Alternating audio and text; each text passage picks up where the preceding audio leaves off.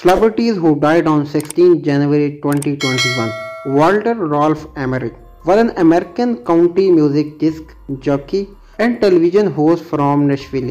He died at the age of 80. Joe Beasman Hall was an American college basketball coach. He was the head coach at the University of Kentucky from 1972 to 1985, leading the Wildcats to the national championship in 1978. Coach Hall died at his home in Lexington, Kentucky on January 15, 2022 at the age of 93.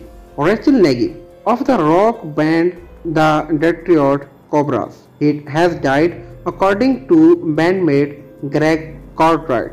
The death was announced in a statement posted on the group's Instagram page. The cause death has not released. Paul Hinshelwood was an uh, English footballer who played in the Football League for Crystal Palace, Oxford United, Millwall and Colchester United. He gained representative honor with the England under 21 team and also played and managed in non-league football.